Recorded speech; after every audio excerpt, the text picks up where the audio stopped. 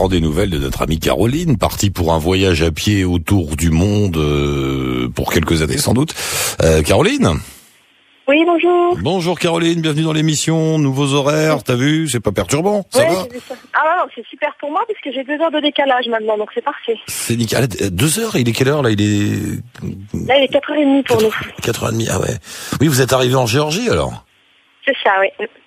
ah, Dis-moi, euh, vous êtes passé par où? Bah, la, la Turquie, en fait, on a, on a poursuivi notre chemin en Turquie. Ouais. Et donc, on avait une petite appréhension pour sortir de la Turquie parce qu'on était sans visa. Et donc là, bah, finalement, ça s'est bien passé. Donc, on est arrivé en Géorgie, ça fait moins d'une semaine. Comment ça, vous étiez vous, jours. vous étiez sans visa? Ah oui, vous avez rat- vous avez mis plus de temps que prévu?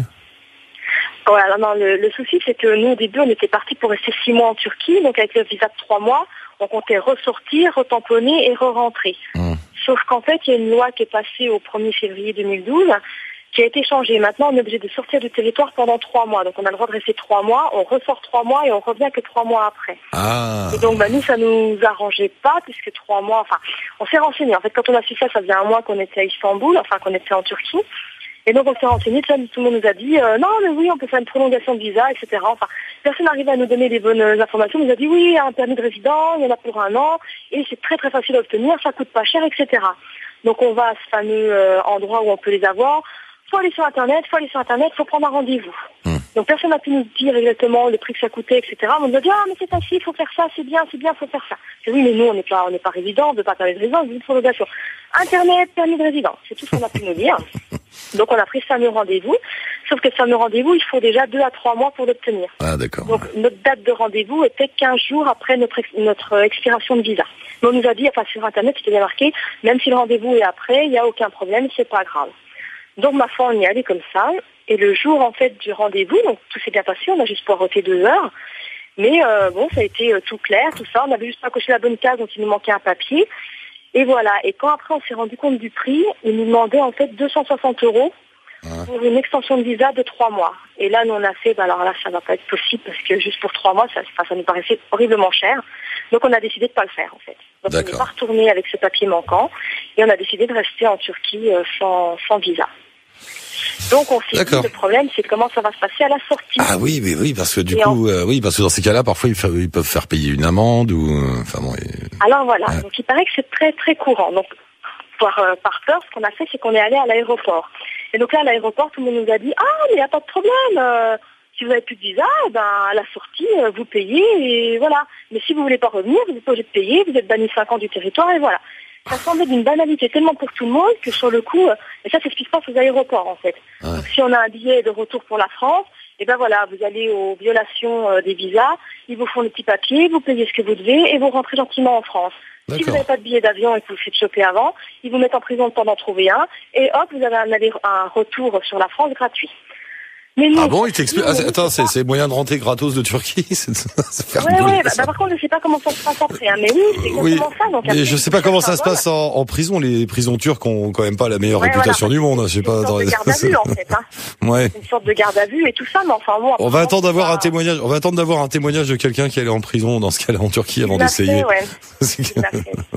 Enfin bon, nous du coup on s'est renseigné, on s'est dit mais est-ce qu'à la frontière euh, terrestre, est-ce que c'est pareil Ouais. On nous a dit oui, oui, a pas de problème, c'est la même chose, vous avez juste un machin. Et si vous voulez pas revenir en Turquie, vous vous laissez bannir et expulser et aller direct en Géorgie, ou alors bah, vous payez l'amende qui vous sera demandée. On s'est renseigné combien ça pouvait faire, et au final ça revenait plus ou moins au même prix que l'extension de visa. Donc on s'est dit, bah, ma foi, on coûte rien à demander. Et notre seul souci était donc de ne pas se faire choper par la police avant d'arriver à la frontière. Parce que si on se serait fait attraper avant, Mm. eh ben, c'était euh, retour dans une grande ville, euh, mise en garde à vue, attente d'un avion pour retourner en France. Et en fait, non, on s'est pas fait contrôler, tout s'est bien passé, on est arrivé à la frontière, ils ont même pas regardé en fait. Ah, le type, C'était le rush, c'était en fin de journée. Le mec, il a regardé, il a dit, oh, vous êtes français, oh, Zidane, Cissé, euh, Sarkozy, machin et tout. Il a rentré notre numéro de passeport dans l'ordi, il a tamponné à la date, euh, enfin, au même endroit où il y avait le tampon d'entrée sans regarder, et on est sorti comme ça, personne n'y a vu qu'on était hors visa, etc. Et, enfin, nous, on est resté, on est resté bluffés tellement qu'on s'était fait toute une montagne de ce qui pouvait se passer. Et en fait, personne n'a rien vu qu'on était deux mois hors visa, et on est rentré, on est sorti comme ça. D'accord. Et surtout, Voilà. ouais. Donc des fois, on se fait du souci pour rien. Comment ça va Sinon, toi, ça fait ça fait combien de temps maintenant sur la route? Et ben, ça fait 15 mois. 15 mois demain. 15 mois. Et ça va T'as toujours la pêche Toujours envie de continuer? Ouais. Ah, super, ouais, super. Ouais. Donc là, on était, donc je suis toujours avec euh, Cédric, qui m'avait rejoint il y a déjà 9 mois. Et là, maintenant, depuis 15 jours, on a été rejoint par Armindo. Donc Qui de France aussi, D'accord. qui souffre, qui souffre un peu des premiers kilomètres. Euh, qui souffrait, ouais, maintenant il souffre plus, on vient de s'arrêter une semaine, donc euh, tout va bien, mais euh, Pourquoi il souffre? voilà. Parce que Vous marchez Ah, bah, ouais, trop lourd, non, un sac trop lourd, pas l'habitude de marcher, puis c'est un vieux aussi, il a 44 ans, donc Ah ouais, c'est très vieux, 44 ans. Tu m'énerves, tu m'énerves toi. c'est un vieux, il a 44 ans. Bon. Mais vous marchez vite, quel intérêt? Marchez pas vite, vous avez tout le temps, vous avez toute la vie. C'est entrées.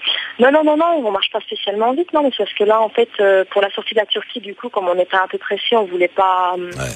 pas, pas spécialement euh, étendre encore notre euh, notre limite de visa. Euh, on est, on a longé la mer Noire, et en fait, sur le bord de la mer Noire, c'est pas du tout intéressant, c'est la grande route. Donc il y, a bien, il y a bien un rebord, euh, il y a bien un trottoir tout le long, mais bon, on est à côté d'une catoie, donc ça, ça fait du bruit phénoménal. Donc oui, on faisait quand même pas loin de entre 25 et 30 bandes par jour. Donc euh, pour sa première semaine, ça l'a Ouais. un peu cassé. Donc voilà, donc ça a duré, ça a duré une petite semaine et euh, voilà, une petite semaine. Bon, c'était, c'était joli, c'était agréable parce que c'était le long de la mer, mais c'est vrai que c'est vrai qu'ils ont pas fait de la, la grande route. C'est bien pour ceux qui font, qui voyagent en moto ou en voiture, c'est que cette grande route longe vraiment la mer. Quoi. C'est, collé à la mer. On peut pas faire la route plus près. Ah, c'est marrant. Tu, Voilà. tu- tu sais qu'il y en a deux, euh, on a deux auditeurs un peu devant vous là. Ils sont arrivés en Chine eux, et on les avait. Ils font. euh, ouais, bah, Kylian et Thierry, ouais. ah, ah, tu les connais? Bah, bien sûr, c'est eux qui m'ont inspiré. Hein. Non. C'est eux qui Ah m'ont inspiré. C'est grâce à eux que je suis là aujourd'hui, en fait. Et donc, Kylian m'a dit qu'il avait, fait son premier passage sur Allo la planète. euh, bah, cette semaine, vous l'avez eu, non Oui, c'était avant-hier, je crois. Ouais. Voilà. Bah, c'est grâce à eux que je suis partie, en fait. Ah, je savais pas. Tout a commencé avec leur aventure, donc ils n'étaient pas encore partis sur la route. Ouais. Euh, moi, j'étais en Australie et puis je me renseignais comme ça sur des tours du monde, enfin principalement en avion. C'est un petit, un petit jeune qui faisait ça. Mm. Et je connaissais pas du tout ce système euh, de tickets open. Et donc, du coup, en cherchant des informations, tour du monde, etc., je suis tombée sur ce tour du monde en marchant. Et là, j'ai fait, mais, non, mais faut être fou, qui, c'est qui qui a eu l'idée de faire ça? Et donc, j'ai suivi toute leur préparation. Donc, à l'époque, ils n'étaient pas que deux, hein, ils étaient, ils étaient, Ils étaient huit, neuf, moi, à 8 l'époque. ou 9, ouais, c'est ça. Ouais. Ouais, je crois qu'ils sont partis à 12, mais moi, ils étaient que 8. Donc, ils avaient fait deux équipes de 4, etc. Enfin, j'avais vu toute leur préparation et ça me semblait, mais oh, d'une organisation. Je me oh là là, c'est pas pour moi, ça, ça demande trop de temps et tout. Et puis, c'est tout. Et donc, ça, c'était avant qu'ils partent, donc en début 2008. Et donc, après, ben, moi, j'ai fait ma petite vie. Je suis revenue d'Australie, je suis retournée bosser, etc. Et deux ans après, je me suis dit, bah, tiens, qu'est-ce qui, qu'est-ce qui deviennent les, les doudous devant, là? Et, euh, et donc là, je suis rentrée en contact avec Kylian. Puis je lui ai fait, bah alors, euh, comment ça se passe? Vous êtes toujours en train de marcher, vous en êtes tout, etc. Et là, il est rentré au Kazakhstan. Puis il me fait, bah oui, parce que maintenant, on n'est plus que deux, mais bon, on s'entend bien, ça marche bien, etc. Et puis bah, de, de fil en aiguille, ah bah tiens, on passe, on passe à la télé bientôt. Et là, j'ai vu le reportage. Oui, Et puis bah, de fil en aiguille, ça m'a donné envie. Un bon matin, j'ai dit, bah allez hop, moi aussi, je vais, je vais me préparer mon petit tour du monde à pied. Eh ben, ils sont, donc c'est D'accord, sur la route aujourd'hui. ils sont en Chine, là, un peu devant toi. Ouais, ouais, un peu, un peu beaucoup. Donc, Deux ans, d'avance. deux ou trois ans d'avance devant toi. C'est- Ouais, ouais. Ouais, ils sont partis en 2008. Donc. Et un mot, un mot sur, euh, sur autour de toi, la Géorgie, tes premières impressions, c'est, c'est comment? Ben, pouf, je sais pas, moi, les, les gens sont... Ben, c'est ma, vraiment ma première impression, parce qu'on vient vraiment juste d'arriver, j'ai pas encore appris la langue, on n'est pas trop sortis. Et bon, on a des avis différents dans le groupe, parce que tous, on n'a pas fait la même chose, mais je les trouve pas souriants. Mm. Alors maintenant, c'est peut-être qu'une impression, hein, mais euh, la Turquie, les gens étaient tellement chaleureux et souriants et accueillants.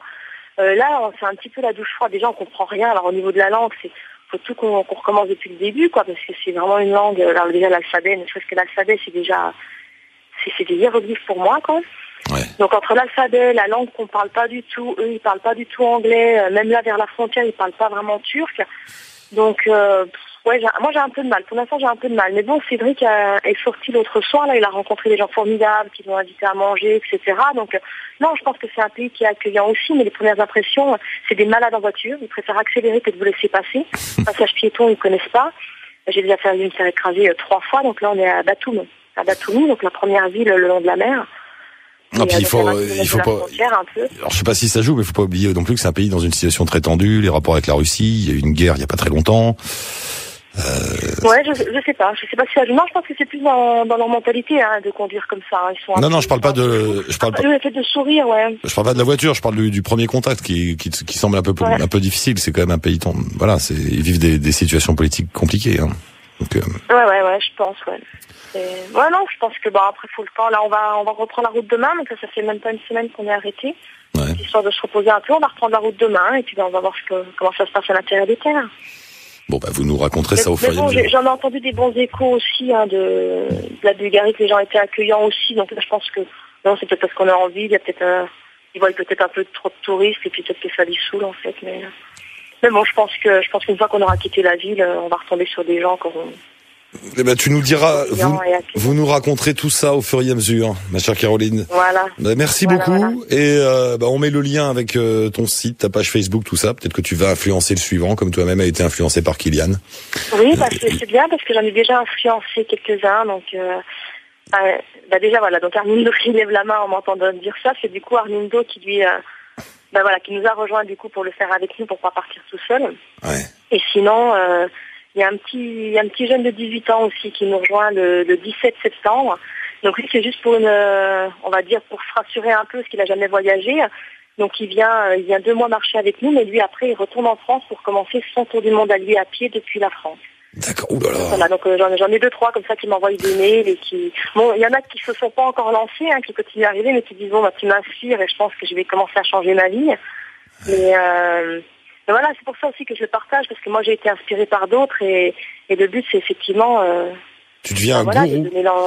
Tu deviens un gourou, Caroline. Non. Attention, tu vas te retrouver avec Non, euh, 250 non, pas personnes derrière toi, en train de marcher.